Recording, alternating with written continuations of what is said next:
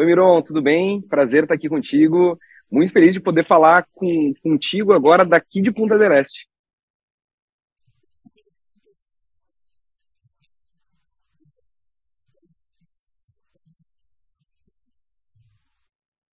Isso, hoje é o último dia, é um evento que a gente é, criou com a ideia de dois dias.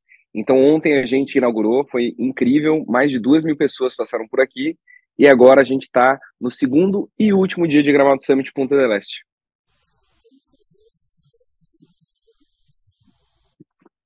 Vamos lá. É...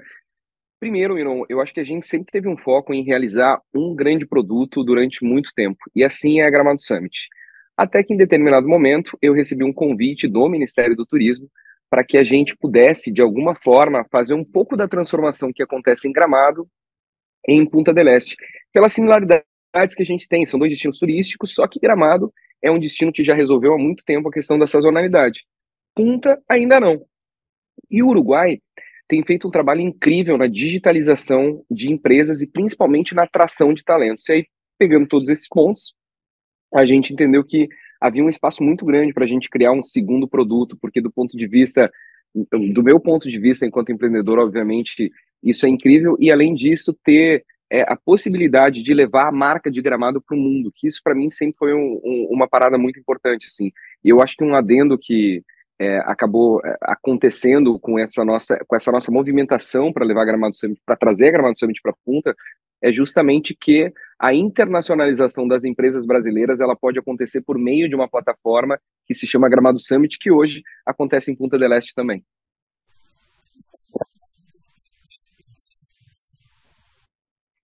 Então, ele é muito aquecido do ponto de vista é, de benefícios para que empresas de fora do país se instalem aqui.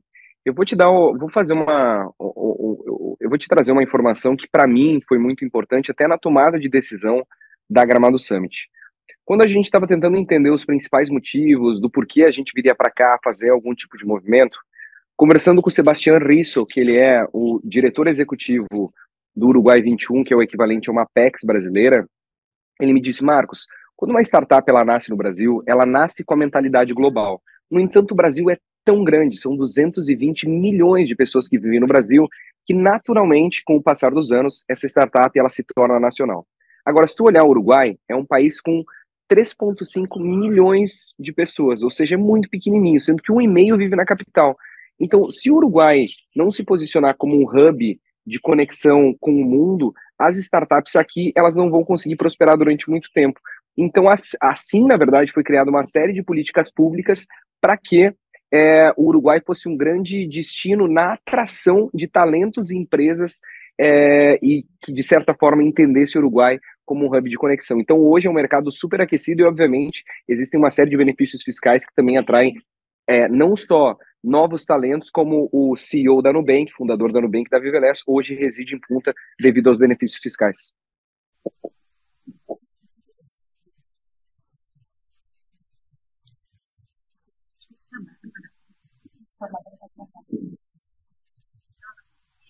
Miron, ainda, ainda tudo é muito novo para nós. Quando eu criei a Gramado Summit Punta del Este, a ideia seria ter um produto complementar à Gramado Summit Brasil.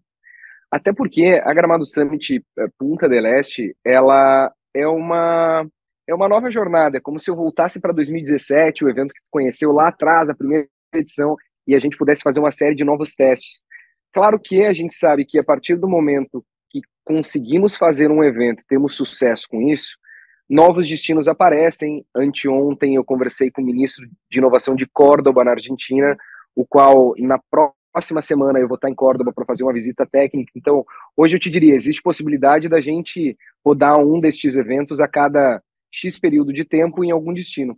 Ou também existe a possibilidade da gente tentar fazer algo tão grande quanto ou maior o que a gente faz no Brasil, aqui em Punta del Este, que é um destino que a gente gosta muito mesmo. Assim, o futuro é o futuro é uma parada muito legal que a gente desconhece ele, assim, mas existem várias possibilidades super interessantes e que me permitem fazer o que eu mais gosto, assim, que é eventos de inovação carregando a marca de Gramado, a cidade que eu nasci e criei para o mundo.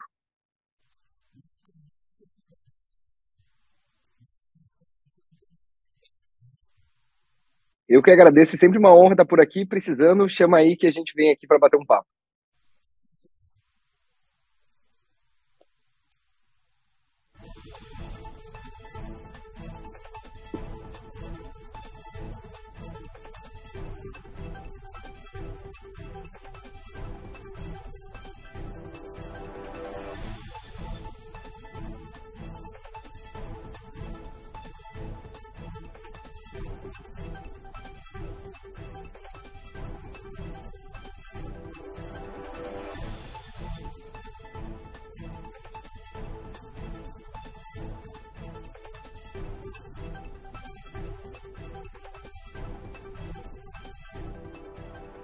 Gramado Notícias, patrocínio, claro, você merece o novo. Sicredi, onde o dinheiro rende um mundo melhor. Estação Campos de Canela, celebrando 100 anos da chegada do trem.